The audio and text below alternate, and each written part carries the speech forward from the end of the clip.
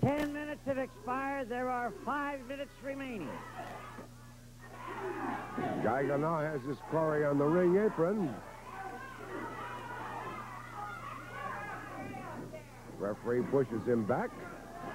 Will this give the cowboy a chance to recover? Ellis still the victim of Geigel.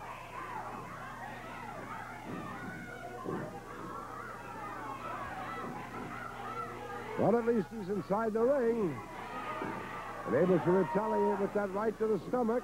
And a kick.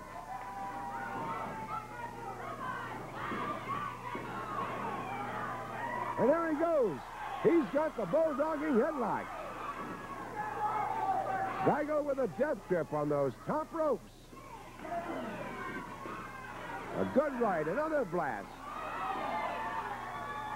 Well, he didn't break his fall too good that time. Hit rather heavily on the corner of the ring apron.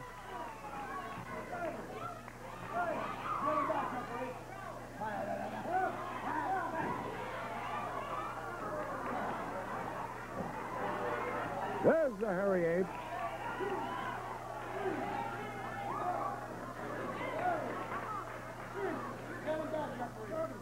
Tells the referee to get Ellis back.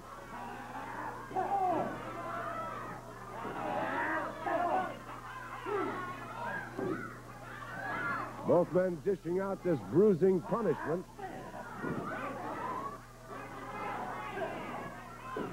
Geigel backs off to the other corner. Starts a running leap. Ellis gets out of the way. Follows it up with a belt to the back. Rights and lefts. Arm dragging across. Three minutes. Three minutes to go. Well, they've wasted no time in this match. Somebody's been on the attack all the way. Geigel with that left foot over the lower rope.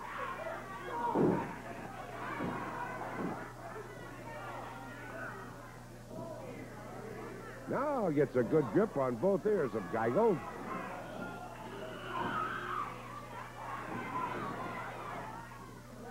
Still trying to set him up for that bulldogging headlock. Good flying tackle, but in the process, the cowboy himself seems to have been momentarily stunned, but Geigel's on his feet. Just barely. But at least he's vertical while the cowboy is still horizontal. And he was going to sit on him.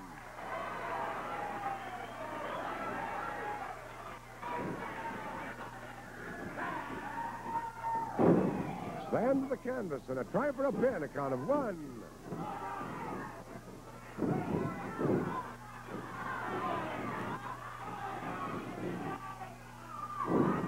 Back body drop, count of one.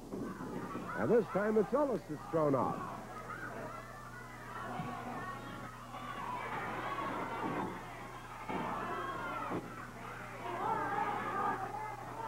Fans pleading with Ellis not to pay any attention to him. Wade right in, try to finish him off. In the waning moments of this match. Hard right by the Cowboy. Good one by Geigel. And a dandy. One minute. One minute left. Well, you couldn't ask for a better one than this. Two of the outstanding men in the ring today there. The Cowboy with an abdominal stretch. Shades of Wilbur Snyder. Does he have him? Will Geigel be forced to submit? He's a tough old bird, though. Just calmly reached around, grabbed him by the trunks, upset him, and broke it up.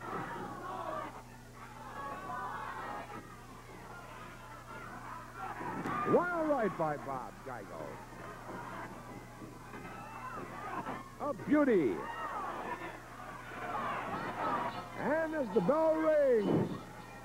Geigel falls forward on his knees. Boy, the way these two fellows were going on, and I imagine they could have gone on for an hour. And it's a draw in our first main event. Let's get the official announcement from our ring announcer.